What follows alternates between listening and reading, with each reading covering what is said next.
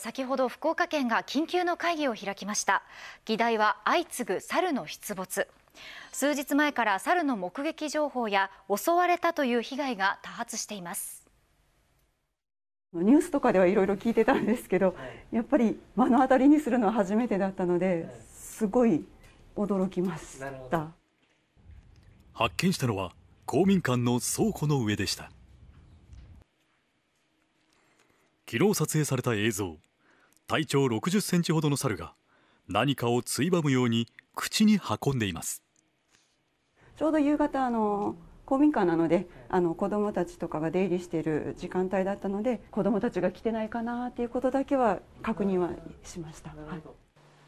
もしこの時倉庫の下を子どもが通っていたら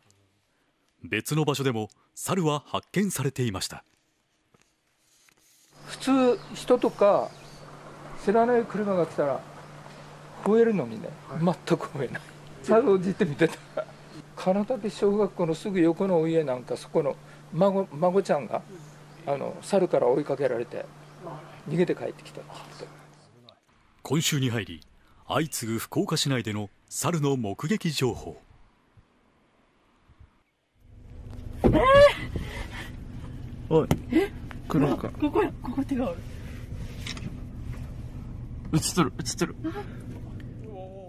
福岡市では日曜日からの4日間で猿に引っかかれるなどの被害が6件発生しています。もし猿に遭遇した場合私たちが取るべき行動は？気をつけることはですねそうやって遭遇した時にまず騒がない見つめない例えば今だったらあのスマホでこう写真を撮ったりとかですね。あとですね笑うとかで歯がこう見えてしまうとこちらが威嚇したみたいな形になるのでそういったことはやめた方がいいと思います。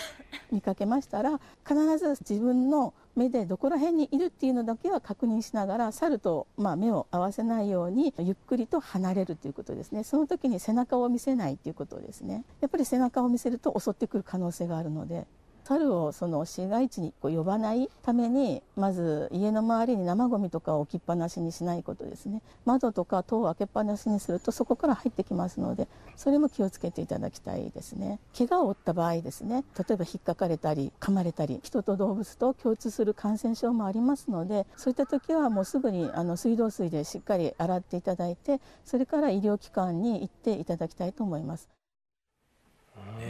被害が続いてますもんね。怖いですよね。えこちらが航空写真なんですが右側が油山そして左側が飯盛山となっています。えこの沢楽と西区を、ま、西区をまたがるエリアで目撃情報や被害が相次いでいるということなんです、うんうん、石井さんいずれも子どもや体格が小さい人が狙われていることが分かりますよね。そうですよね。梅林の件でも小学校4年生の男の子がね、はい、怪我をしたということなんですけれどもでもこの航空写真見てますとその梅林周辺とかやっぱり住宅街いっぱい立ち並んでますよね、はい、そうなんです。そのためお子さんたちの登下校中とかそれから子供だけで遊びに行く時なんかにも注意が必要ですよね。ね、えー、ただ猿被害は外だけで起こるとは限りません、はい、こちらは去年9月の中川市の住宅街の映像なんですが少し開いていた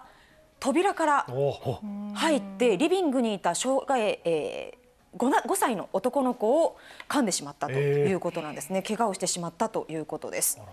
へこの時期ってやっぱりちょっと網戸にしたりとかっていうこともありますから、はい、なんかそういったのもやっぱり危なかったり怖いですよね。そうですね。戸締まりはしっかりしておかないといけないですよね。まあそもそもなぜ人を襲うのかという点なんですが、えー、猿はもともとは人を怖がる性質を持っています。ただ餌付けが関係してくると話が変わってきます。食べ物のゴミを置きっぱなしにする。それから庭で、えー、なっている果実熟しているのにそのままにしておく。そういったことも餌付けになってしまうんですね。家庭菜園の野菜とかを取っていくってことなん。ですかね。そうですね。もう十分熟したらすぐに人間が取るっていうのが正しいと思います。はい。